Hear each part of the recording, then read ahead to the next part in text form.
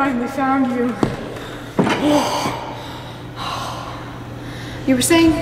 I wish it was nighttime and everyone was asleep and Romeo jumps into my arms. Nobody will know. I want to make love to Romeo in the dark.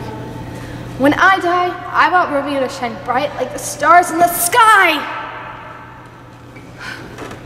It's like a kid the night before Christmas. I want the love of my life. Is this the rope ladder that Romeo asked for?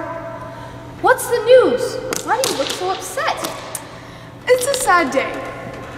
Okay? He's dead. We're ruined. It's an awful day. Whoever thought it'd be Romeo? This is as bad as the tortures of hell! Has Romeo killed himself? Say yes. If not, no. Tybalt is dead. Romeo has been banished. Romeo killed Tybalt. And his punishment was, guess what? Banishment. Oh no! What are we doing in hell? Why did he put the, the soul of a criminal in such a perfect body? Oh, I can't believe the evil lurked inside such a beautiful human. I'm going to kill myself and bury myself with Romeo's dead, cold body. There's no honesty in men. They all lie. They're wicked. Where's my servant? I need some brandy. Shame on Romeo. I hope you get sick for saying that. I can't believe I was ever angry with him. Are you gonna say that? Good things about the guy that killed your cousin? Romeo has been banished, and Tybalt is dead.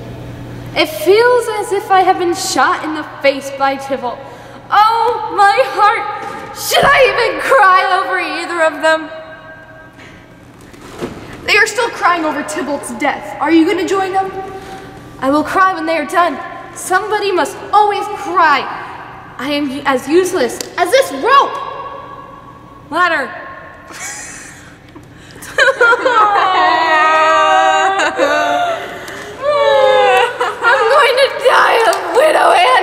virgin, untouched! I will bring Romeo to you tonight.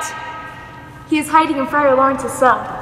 Whoa, whoa, whoa, whoa! Take this ring and find him! I will! Yay! Oh, we are the champions, my friend.